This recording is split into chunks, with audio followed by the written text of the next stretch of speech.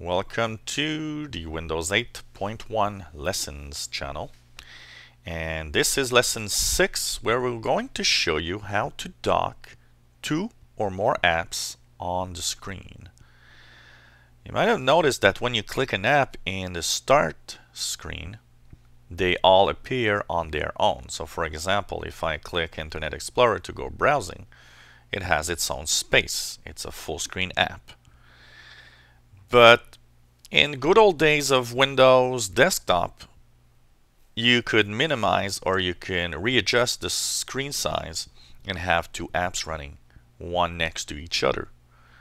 Well, the same thing can be accomplished in Windows 8.1 and it's called docking. You want to dock apps on your screen. And how you do that is that first of all, these apps need to be running. So they need to be in your app bar I want, for example, to have my weather app and my Internet Explorer app one next to each other. So they're going to be docked on the screen. How do I do that? Click the first app you want. So I'll click the weather. Then go back into that app bar and click on your Internet Explorer or whatever app you might want.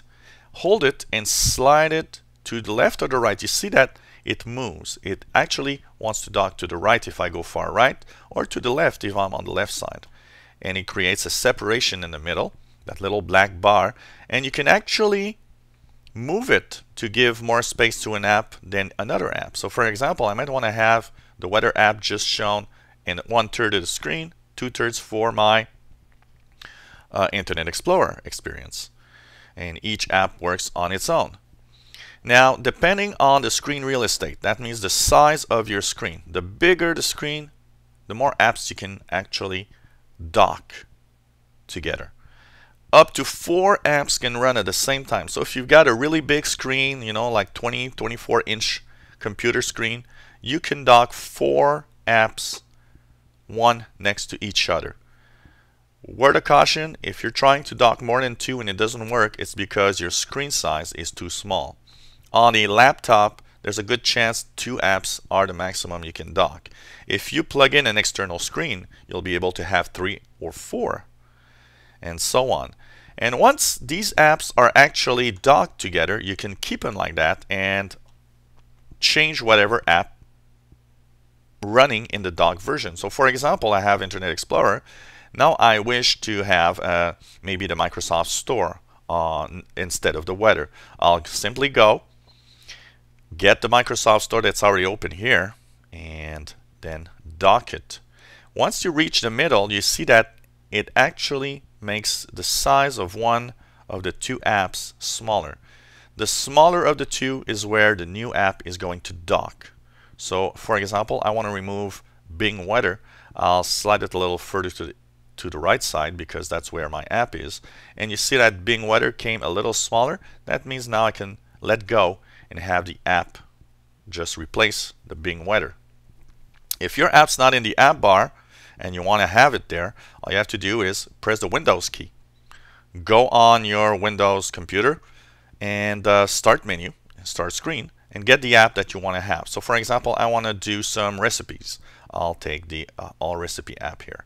And you see it appears right smack in the middle. And it's telling me, okay, which side do you want to have it? All you have to do is click on the side that we wanted to replace the app. I will click on the right side because I want to replace the app of the store. So here goes on the right side. And the All Recipe app is now running right there on the right side of my screen now. And I can, of course, change the size of that app, do whatever I want with it. Now here I did a little mistake, so I doubled my screen. So whatever you want to do, just go into the app bar, get the All Recipes app, and make it run. Get whatever app you want, you can dock to. If you have a really big screen, three or four is possible. And what's very nice is that if the app needs to open, um, for example, maybe you're in your mail app, you clicked on a message and has a PDF file, that you need to open. So what you'll do is you'll click on the attach file and what's interesting is that it's actually gonna open a third or fourth docking to show you the PDF file. So it adjusts itself depending on what you are using.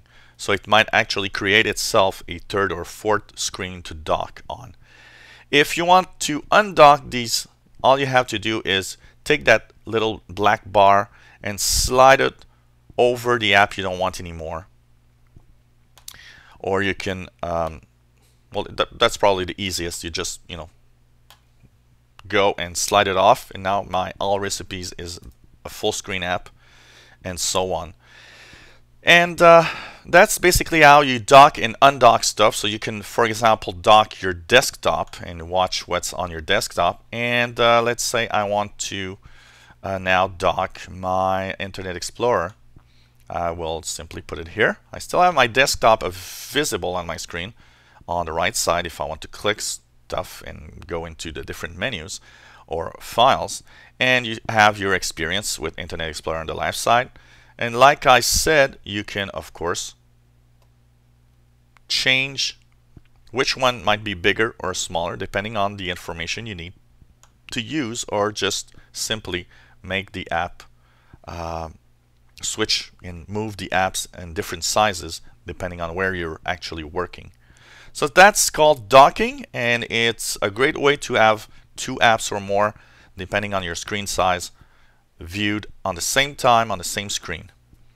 It's very useful if you uh, need to take notes, for example, while reading an article.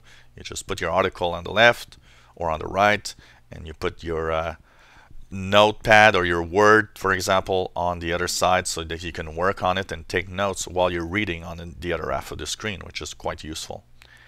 If you enjoy our lessons, please subscribe to our channel and you'll be informed when new lessons are online.